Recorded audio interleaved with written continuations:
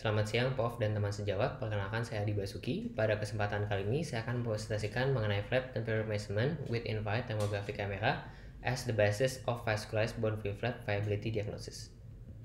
Jadi, uh, vascularized bone free flap telah menjadi pilihan utama untuk merekonstruksi defek tulang. Evaluasi perkara skin pedal untuk menilai viabilitas flap sangat penting, terutama 24 jam pertama post-operasi. Namun, evaluasi menjadi tantangan bila dilakukan pada vascularized bone free flap yang burik karena tidak memiliki skin pedal. Ada beberapa metode yang dapat dilakukan untuk membantu mengevaluasi viabilitas bone flap itu sendiri. Yang pertama, extrovert skin pedal dan distal vessel stump. Namun hal ini membutuhkan operasi tambahan. Terdapat juga Doppler probe yang langsung diimplantasi pada distal anastomosis, namun belum tersedia di RSCM. Kemudian terdapat juga metode ICG, namun tidak selalu available. FLIR One merupakan salah satu infrared thermography kamera yang mudah didapatkan dan uh, dapat mendeteksi adanya obstruksi vaskular dengan perbedaan suhu lebih dari sama dengan 2 derajat Celcius pada flap yang memiliki skin pedal. Namun Flare One belum pernah diteliti pada burit bone flap. Pada penelitian ini, kami ingin mencari tahu apakah ada perbedaan temperatur signifikan saat intraoperatif, postoperatif pada burit bone flap. Jika ada perbedaan temperatur yang suhu signifikan, maka uh, penelitian ini dapat menjadi dasar metode diagnosis viabilitas flap ke depannya. Pertanyaan penelitiannya, apakah terdapat perbedaan temperatur suhu yang signifikan saat intraoperatif dan postoperatif pada permukaan vascularized bone free flap dan permukaan flap penutup defect dengan menggunakan ITC? Hipotesa kami, ya terdapat perbedaan signifikan. Berikut ini adalah tujuan umum dan tujuan khusus dari penelitian kami. Berikut ini adalah keuntungan dari penelitian ini. Berikutnya adalah literatur review. Jadi secara umum uh, flap dibagi menjadi dua yaitu external monitor flap dan burit flap. External monitor flap memiliki skin pedal yang berguna untuk memonitor viabilitas flap itu sendiri. Sedangkan burit flap memiliki uh, flap, tidak memiliki uh, skin pedal sehingga uh, sulit untuk dimonitor. Namun kelebihannya secara estetik lebih baik. Secara fisiologi sendiri terdapat perubahan mikrosirkulasi pada flap. Nah, perubahan ini nantinya yang akan berhubungan dengan temperatur suhu. Kemudian secara garis besar terdapat uh, empat metode untuk memonitor uh, flap itu sendiri. Yang pertama adalah uh, clinical monitoring, uh, yang kedua uh, adalah saturasi oksigen.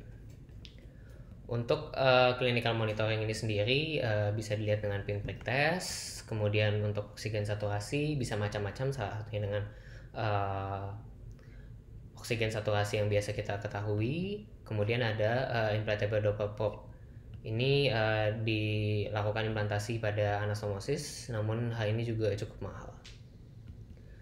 Kemudian ada juga flowmetry. Flowmetry ini uh, salah satunya dengan menggunakan ICG. Ini uh, cukup uh, sulit untuk didapatkan uh, sehingga barangnya uh, cukup uh, mahal.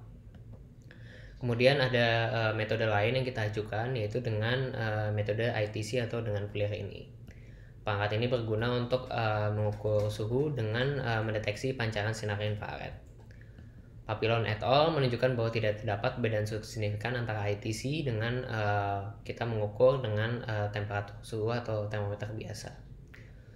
Kemudian, namun ada beberapa temp, uh, faktor yang dapat mempengaruhi ITC ini sendiri yaitu ambient temperature, kemudian room size juga humidity, dan juga adanya uh, sumber dari infrared lain. Berikutnya adalah uh, kerangka teori penelitian ini, kemudian berikutnya adalah conceptual framework. Dari conceptual framework ini dapat uh, kita identifikasi yaitu variable dependent yang merupakan permukaan vascularized bone free flap, kemudian permukaan uh, defect flap uh, defect uh, covering flap atau flap penutup defect, kemudian sisi normal pada kontralateralnya. Untuk variable dependent sendiri uh, terdapat delta peraturan uh, temperatur saat intraoperatif yang terdiri dari sebelum anastomosis dan setelah anastomosis.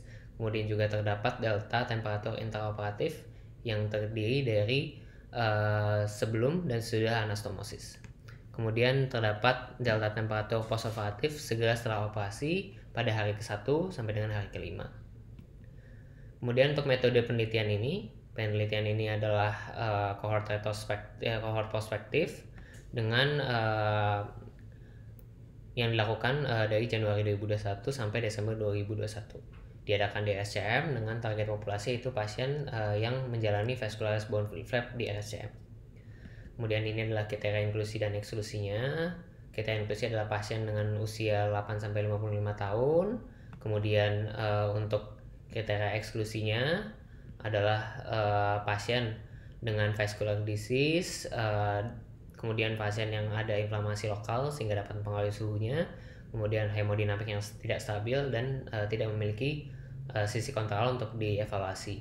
Kemudian kriteria dopotnya adalah flap yang tidak viable dan hipertermia. Ini adalah research flow chartnya. Kemudian uh, apabila kita sudah mendapatkan pasiennya dan sudah kita lakukan inform consent, uh, pengukurannya dimulai saat uh, valvular flap sudah di setting. Kemudian uh, dibagi sesudah dan sebelum anastomosis. Pengukuran pertama yang dilakukan adalah pengukuran suhu dan kelembapan. Kemudian uh, kita lakukan juga pengukuran ketebalan uh, flap dengan uh, jangka sorong uh, dan kita catat komposisi flapnya. Berikut ini adalah uh, caranya.